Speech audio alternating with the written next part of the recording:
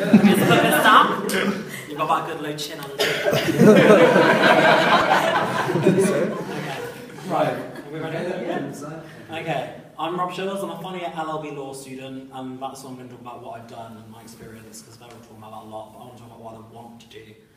So, first of all, I want to talk about welfare. Big, some of the big issues are mental health, physical health, and sexual health. It's quite good to compartmentalise them into that.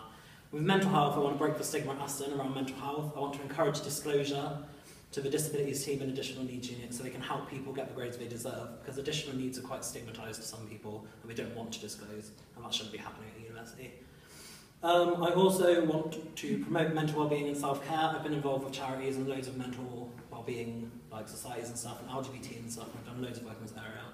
Physical health, I want to address sexual assault on campus because it's an issue that isn't spoken about and we all know it happens. And if you haven't met someone that it's happened to, you're lucky.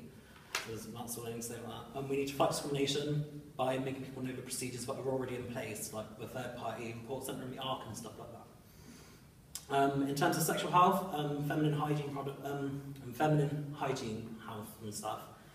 I want um, feminine hygiene products for free or reduced in the union, and I want free condoms more widely available than they already are.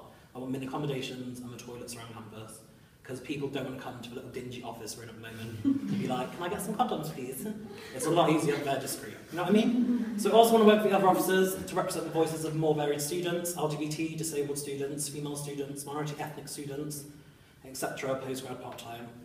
And I want to encourage engagement by non-alcoholic events and actually reaching out to these groups who don't get involved at the moment. Thank you, Rob.